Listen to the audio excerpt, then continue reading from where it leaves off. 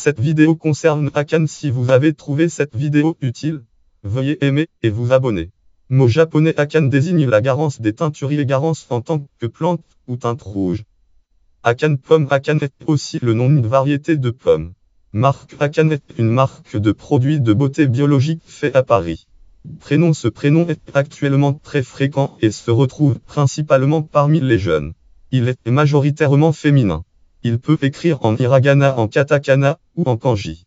En kanji ce prénom écrit entre autres sous les formes suivantes. Garance langue ja le son qui berce le suivant suggérant de naissance rapprochée, langue ja l'enfant qui vient après l'excel, langue ja le suivant en simultané suggérant des jumeaux, langue